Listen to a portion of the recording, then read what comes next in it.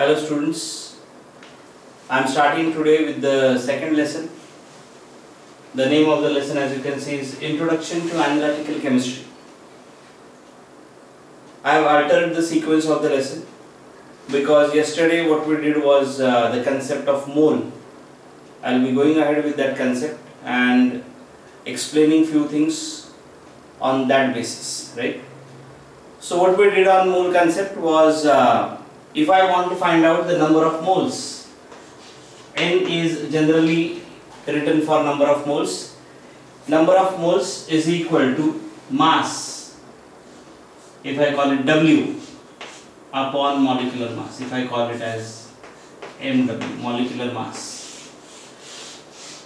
किसी भी सब्सटेंस का अगर मुझे नंबर ऑफ़ मोल्स ढूंढना है तो it is equal to the mass of the substance divided by molecular mass that is what we saw in that mole uh, triangle right? Fine. Uh, what I mean by that is if I am given supposedly if I am given 11 grams of carbon dioxide so I know the weight of carbon dioxide and I want to find out the number of moles of carbon dioxide right?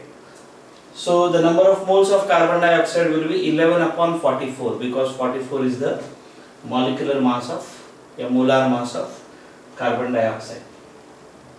So that that's the, that's basically the concept.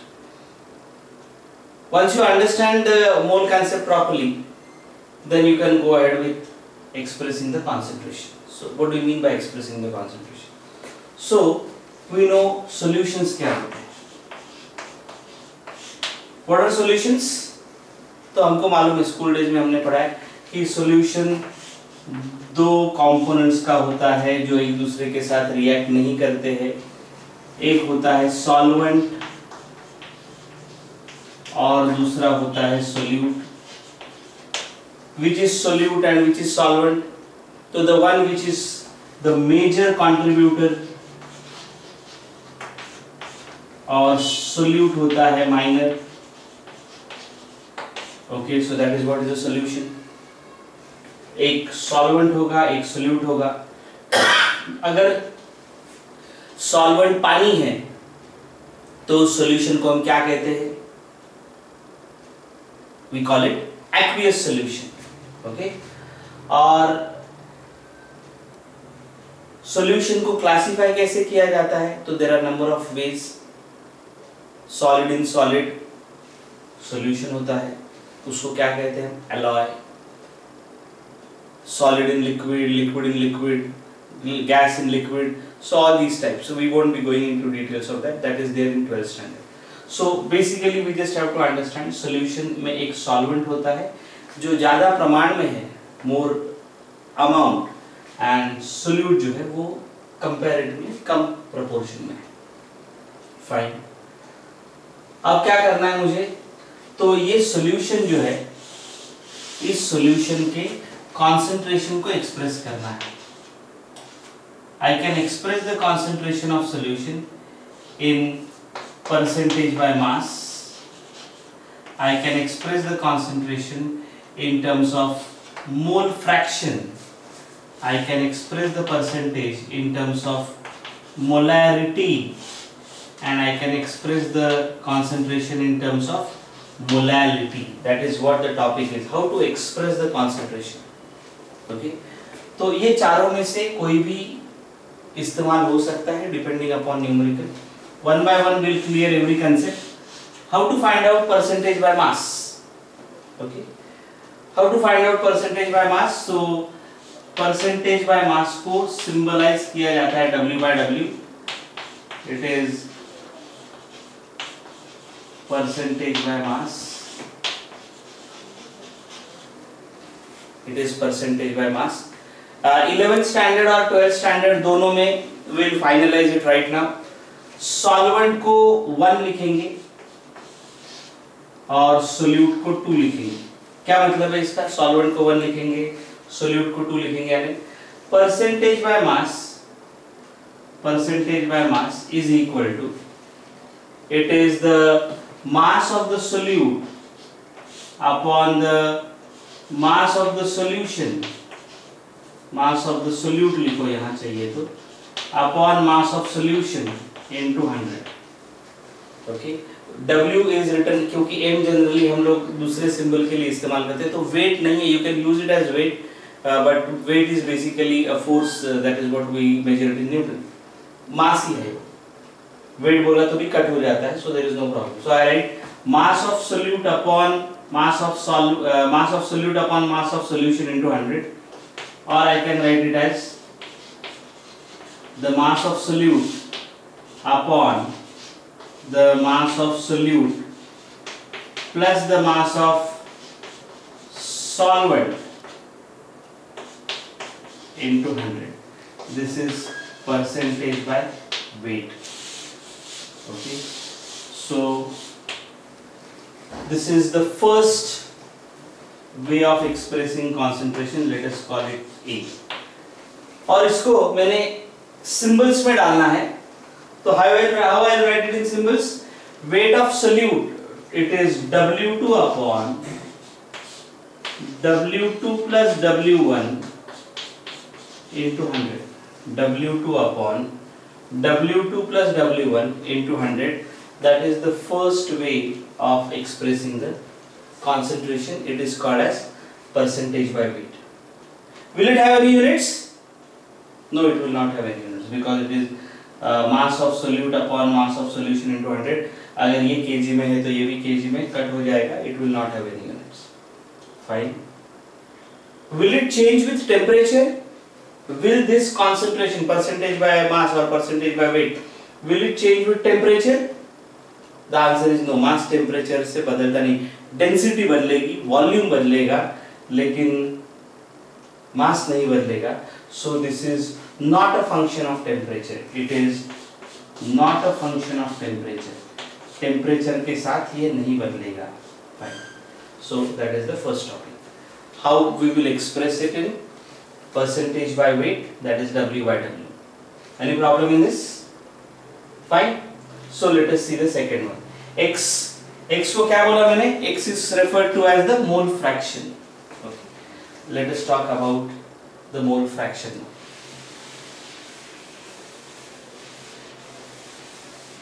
B I'll write over here.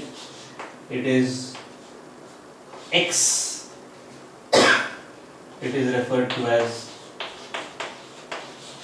mole fraction. It is referred to as the mole fraction. किसका mole fraction solute का या solvent का so let us से solute का generally ढूंढते हैं not necessarily you can find it up for solvent as well so what is mole fraction mole fraction of solute is equal to x2 mole fraction of solute is equal to the number of moles of solute upon the total number of moles number of moles of solute upon the total number of moles x2 क्या है number of moles of solute upon the total number of moles n is for number of moles mistaken होगी थी x लिखा था उसको so x2 is the mole fraction of what 2 2 यानी क्या है solute it is equal to the number of moles of solute upon the total number of moles ये क्या है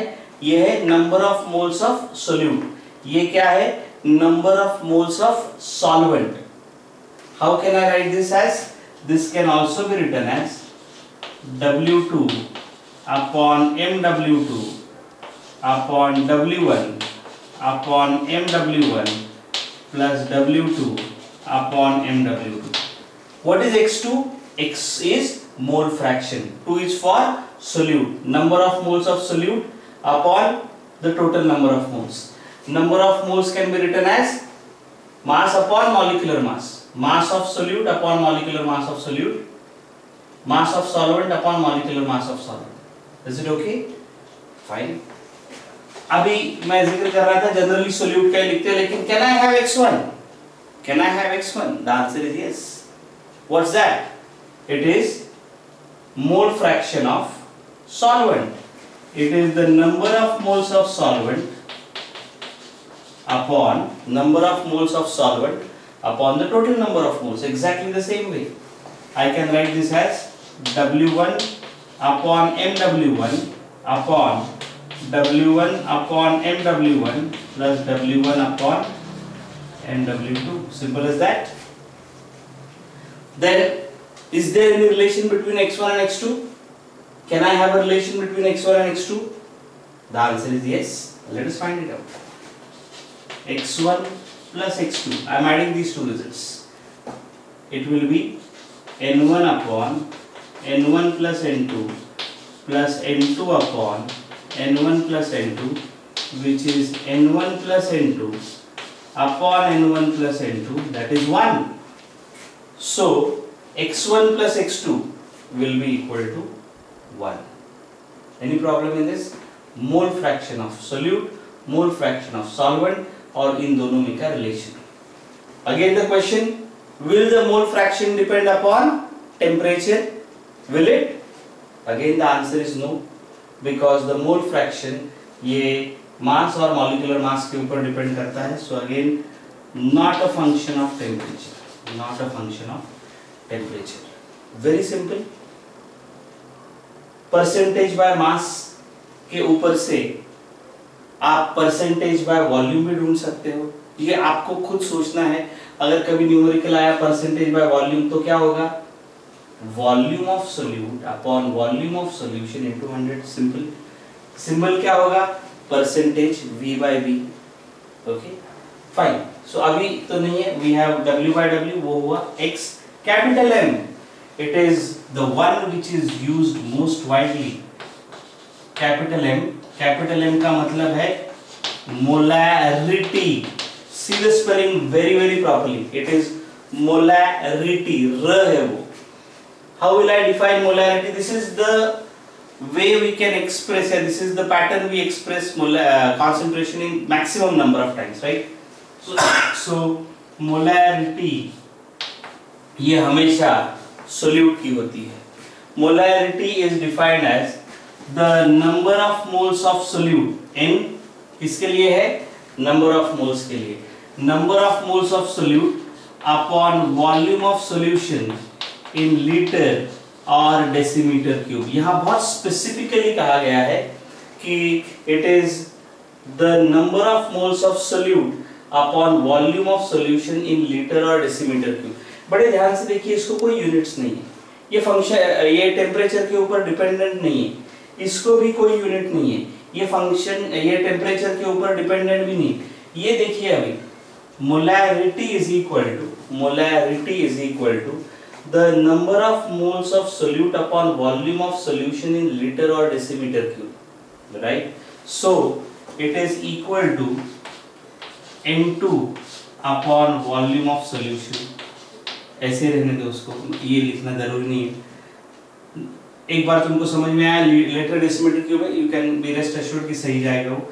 N2 n2 is w2 upon m2 into volume of solution अब देखो, ये जो तीसरा तरीका है कॉन्सेंट्रेशन को एक्सप्रेस करने का, जिसको मोलैरिटी कह रहे हैं, क्या उसको यूनिट्स है? And answer is yes what are the units of molarity the units of molarity are mole per dm cube or moles per liter you can write it as moles per liter right क्यों क्योंकि number of moles को मोल में लिखा है और volume of solution को हमने लिखा है डीएम क्यूब में या लीटर में whatever so definitely it will have units whether it is temperature dependent and the answer is yes this is a function of temperature this is a function of temperature या this is not लिखा है so this is a function of temperature तो क्या होगा? How because when we increase the temperature temperature बढ़ाएँगे तो volume बढ़ेगा because that's the way we add goes volume बढ़ेगा तो मोलैरिटी कम हो जाएगी. So definitely and undoubtedly temperature बदलेगा तो ये बदलता है. So I understand the third way of expressing concentration that is molarity and now the fourth and the last one is molality small m बड़े ध्यान से देखो इसको this is molality the symbol is small m this is the fourth way small n and we write it as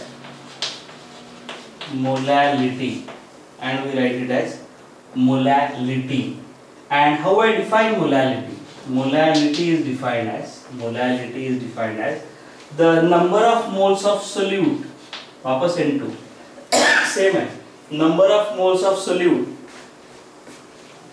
upon क्या लिखा है बड़े ध्यान से देखो number of moles of solute upon mass of solvent in KG please pay attention Here specifically कि सिर्फ़ किसका मास है? सॉल्वेंट का मास है। सोल्यूट का सब ऊपर है सॉल्वेंट का जो सब है, वो नीचे है। ये सोल्यूट के कैरेक्टरिस्टिक है, ये सॉल्वेंट के। It is the mass of solvent in KG mass of solvent in KG W is for mass one for solvent bracket में लिखा है यूनिट यूनिट केजी है, इसका मतलब अगर ग्राम्स में दिया है तो into ten raise to the power minus three करके उसको केजी में कन्वर्ट करना ज़रूरी है। Fine I can write this as W two W2 upon M2 into W1 in kg. So that are, these are, this is another formula. क्या इसको units है? मैं वापस एक बार दोहरा रहा हूँ। इसको कोई यूनिट्स नहीं। इधर क्या लिखा था हमने? मोल फ्रैक्शन उसको भी कोई यूनिट्स नहीं। इसको यूनिट्स थे। इसको भी यूनिट्स है। क्या होंगे यूनिट्स इसका obviously the unit will be mole per kg the units will be mole per kg क्यों क्योंकि N2 is expressed in mole and mass of solvent is expressed in kg so it will be mole per kg simple as that fine will it depend on temperature will this pattern of expressing the concentration be temperature depend answer is no because number of moles will not depend upon because number of moles will not depend upon temperature and even the mass of the solvent so this will not depend upon temperature independent of temperature. Okay? This is what is there in our text. Four methods of expressing concentration. I'll teach you one or two more for the entrances. But first check out whether you have any doubt in this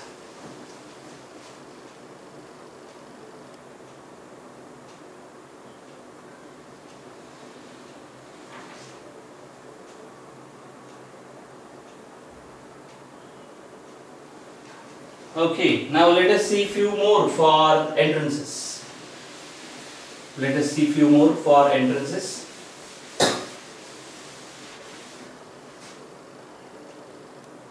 E, the one I was discussing. Percentage by volume कहा जाता है इसको? Percentage by volume कहा जाता है। What is it it is equal to volume of solute upon volume of solution into 100 percentage by volume it is equal to volume of solute upon volume of solution into 100 कुछ सवाल आपके लिए दे रहा हूँ number one क्या मैं volume of solution को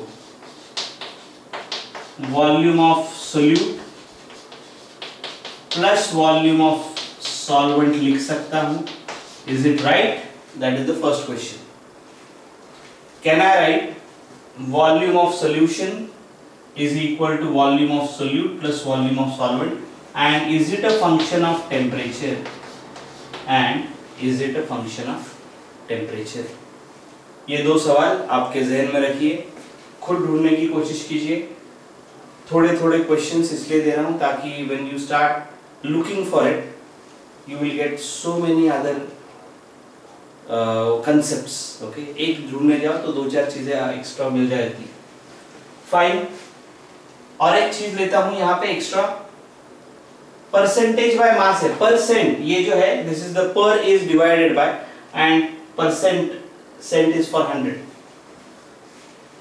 अभी मैं आपको एक नई टर्म बता रहा हूँ PPM parts per million okay what is parts per million parts per million generally जब बहुत कम कॉन्सेंट्रेशन होता है सोल्यूट का तो पार्ट्स पर मिलियन इस्तेमाल किया जाता है।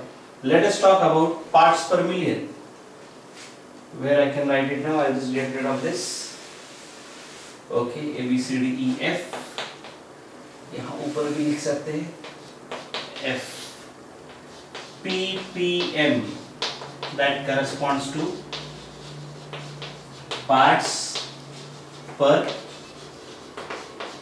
million अभी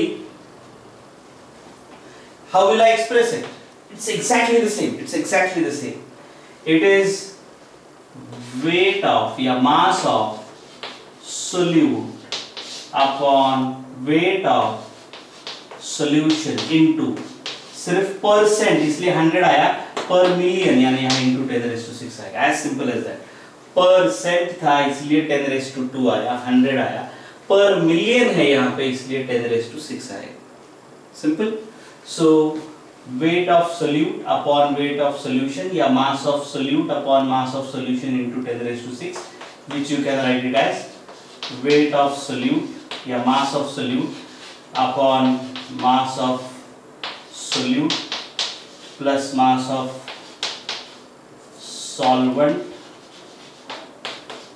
into ten raise to okay this is parts per million this is parts per million in terms of mass. Parts per million, I can also express it in terms of volume. What it will be? It will be volume of solute upon volume of solution into 10 raised to 6. Simple. It is volume of solute upon volume of solution into 10 raised to 6. Uh, this topic actually is the last part of the lesson which is introduction to analytical chemistry the reason i took it immediately because it is in sync with yesterday's topic and very very important from 12th point of view so what you are supposed to do is there are few more ways of expressing concentrations those who are preparing for national level entrances there is something which is called as formality. And then you can also try and link this to what is the relation between the molarity and molality something like that. Okay that, that that's basically a brainstormer type question. But you try it out. Key number one the question is which is given over here can i write this? Number two is this percentage by volume a function of temperature. Try and find out a relation between mole fraction and molarity. Try and find out a relation between molarity and molality if you can okay? Because that will actually trigger the way you tend to solve a given question if you are given the basis. That is the applicative skills will be sharpened what is expected of you is just go through that we'll be solving the numericals on this later on and the name of the lesson is Introduction to Analytical Chemistry. We'll start with the name of the lesson tomorrow. So make sure you are going through this and try and study something more. Okay. So thank you so much for seriously watching this. Have a great day.